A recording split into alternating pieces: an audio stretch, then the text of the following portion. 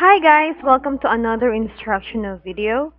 Today I'm going to show you how to access app documents from iPhone using a PowerSoft Phone Manager tool. To start, go to its page, scroll down and click on the Download Desktop Version button to get the tool.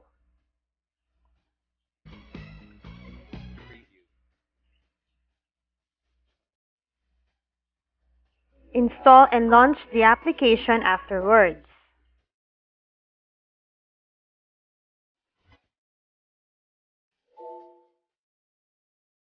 Next, connect the iPhone to the computer and then click on Apps tab to see all the apps installed in the iPhone.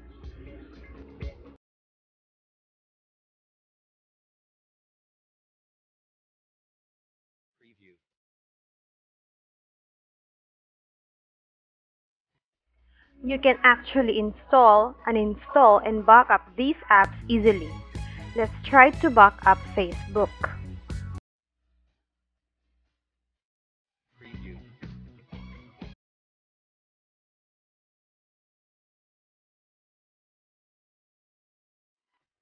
The Facebook app will then be saved in your computer. Here is how you can install and uninstall apps using this tool.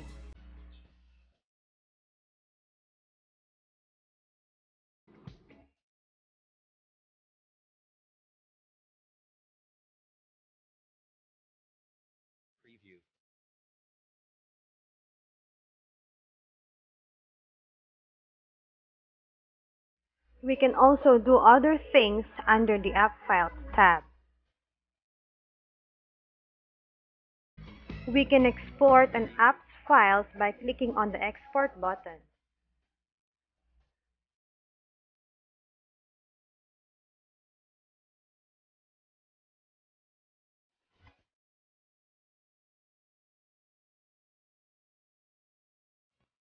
We can also import and delete files if we wish to.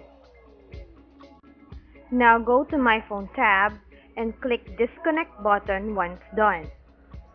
That is how easy we can access app documents from iPhone using Apowersoft Phone Manager tool. Thank you for watching.